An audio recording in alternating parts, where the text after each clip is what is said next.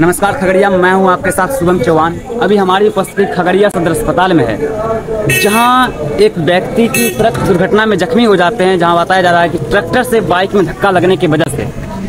इनका एक्सीडेंट हो गया और इनके परिजनों से हमने बात की क्या बात हुई है वो चीज़ हम आपको बताते हैं और जरा जानिए कैसे ये घटना हुई। क्या नाम हुआ आपका? कहाँ से आए हुए हैं?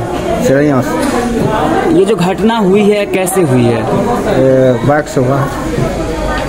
आपके सामने हुआ फिर आपको कोई बताया? ना बताया गया तब फिर क्या बताया गया आपको? फिर बोला कि बाइक से एक्सीडेंट हो गया आपका। कहाँ पर हुआ एक्सीडेंट इसी रोड पर आपको हम तो नहीं थे सामने में। चंदन के रोड हाँ सलमान की रोड में। तो जब जिनका एक्सीडेंट हुआ है कौन लगते हैं आपके? मेरा लड़का है।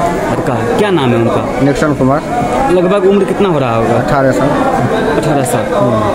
अच्छा मतलब बाइक से ही हुआ क्या लगता है कि मतलब कोई गाड़ी टक्कर मार दिया खुद गिर गया क्या लगता है क्या बताया गया? बताया कि जो कोई गाड़ी ट्रैक्टर वाला आया ओवरटेक किया उसमें अच्छा ट्रैक्टर ओवरटेक